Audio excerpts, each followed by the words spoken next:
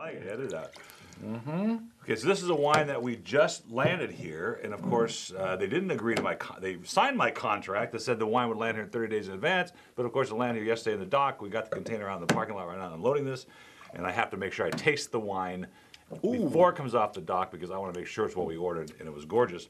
And it will get better Paul, because it's just been shaken up. It's not what you ordered. It's, it's, it's actually better than Oh. what you ordered. Uh, you know, Merlot is the classic grape of Chile. I'm sorry. Well, don't be sorry. Sorry for you.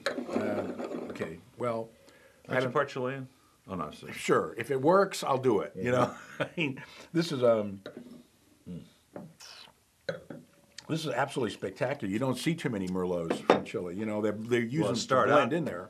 Well, it started out as like the grape, the Los Vascos when it first came here. Oh, yeah, that's true. Uh, but now you see a lot of other things. This has got so much uh, depth, palate, and depth. Yeah, the fruit flavors are amazing.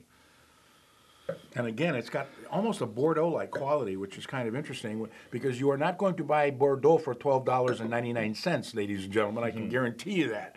Twenty-three ninety-nine is what this sells for on the shelf, and the reorder price is twelve ninety-nine. And I'm I'm doing a ninety-four on this. I think I'm going it's 95. pretty You know, my cousin just called. He wanted good. you know, it's getting better. I'm doing a ninety-five. he wanted a $200 bottle of wine, and I told him I had a few things domestic. I said, and I.